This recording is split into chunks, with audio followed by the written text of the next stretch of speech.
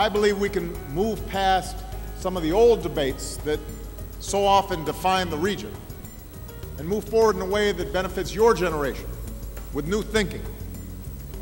An energetic, impatient, dynamic, and diverse generation that you represent, both in the United States and across the hemisphere. More than 100 million people in Latin America and the Caribbean are between the ages of 15 and 24. Most of the region is under 35. And what gives me so much hope about your generation is that you're more interested in the hard work of waging peace than resorting to the quick impulses of conflict. You're more interested in the hard work of building prosperity through entrepreneurship, not cronyism or corruption.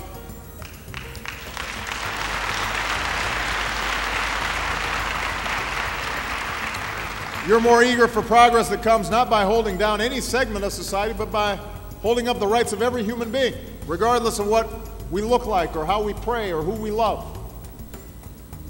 You care less about the world as it has been and more about the world as it should be and can be. And unlike any other time in our history, the technology at your disposal means that you don't have to wait for the change that you're looking for. You have the freedom to create it in your own powerful and disruptive ways. Many of you already have, whether by starting your own enterprises. And I want you to have every chance, every tool you need to make this world better. And we'll help you to expand your commercial and social ventures. We'll embed you in an American business and incubators. We'll give U.S. participants the chance to continue their collaboration with you. So the idea is, is that you'll get a chance to implement your ideas, but now have linkages that give you access to capital and, and, and research and all the things you need to mobilize and implement the kinds of things that you're doing.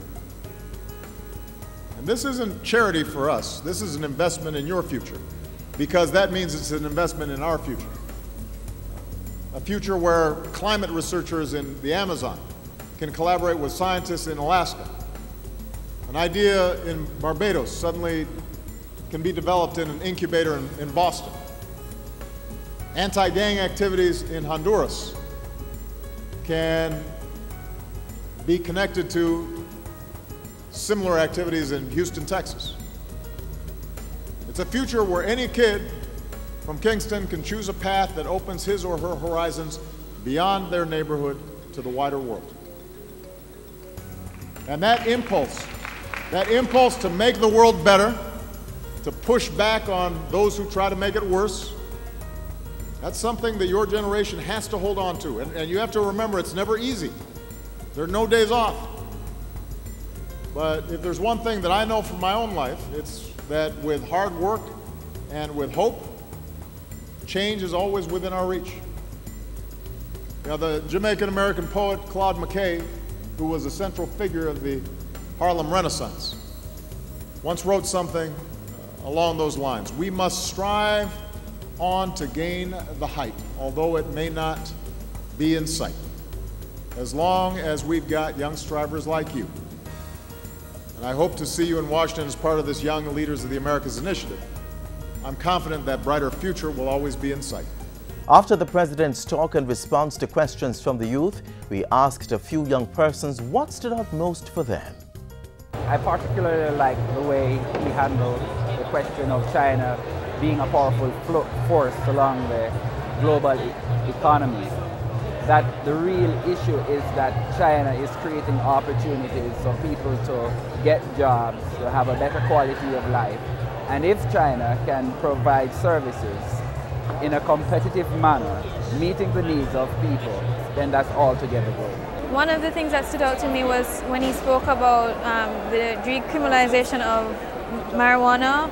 I thought that his answers were realistic, the consequences both positive and negative, and I appreciate that he told us that states such as Washington and Colorado are experimenting in a sense the decriminalization and we can look to them to see whether or not it's really a viable solution to help an, an ailing economy. His message was very short, yet very, very impactful.